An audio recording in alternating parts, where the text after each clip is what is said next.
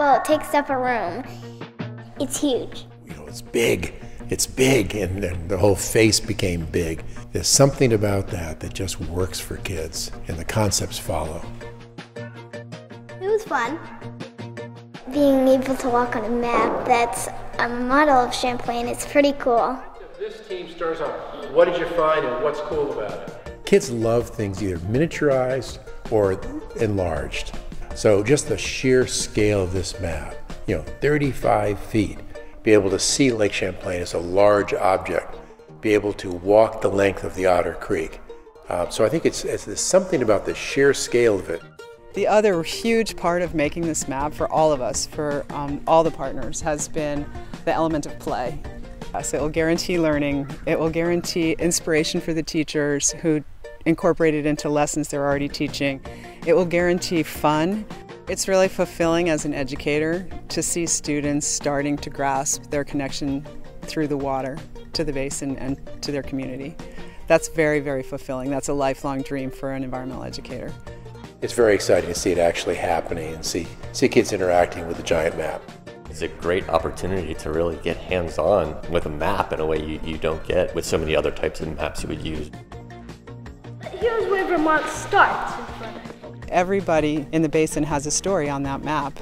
And so for us, it's the idea of getting the stories told using that map as a frame of reference. If a teacher has been struggling with a way to deliver a class or a lesson or an idea or a story, this may be a new way to experiment and try a, a new approach that they might not have thought of before. But the bottom line that I would like to see any kid who ever walks in this map learning is that, you know, if they live way off in Peacham, or if they live way off in Saranac, that it's their lake, that they have a direct impact on that lake. That huge area uh, relates directly to Lake Champlain. You know, the concept of a basin. So this is just one more tool that I think will help students to relate to where they live in a different place. And ultimately, the more connected they feel to it, the more they'll take care of it. And I think that that's going to happen. You put something in one of the rivers, it would eventually end up in Lake Champlain.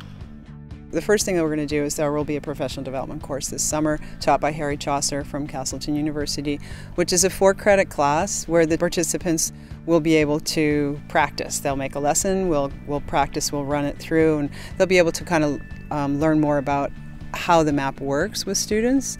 And we actually have $500 uh, stipends for teachers to not only participate in the development of curriculum, but to share it with their own campuses and their own colleagues.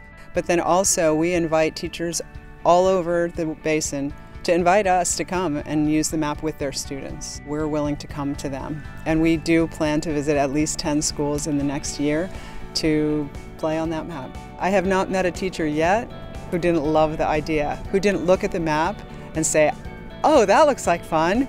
And so that will be fun to see what the teachers and their students bring to the map.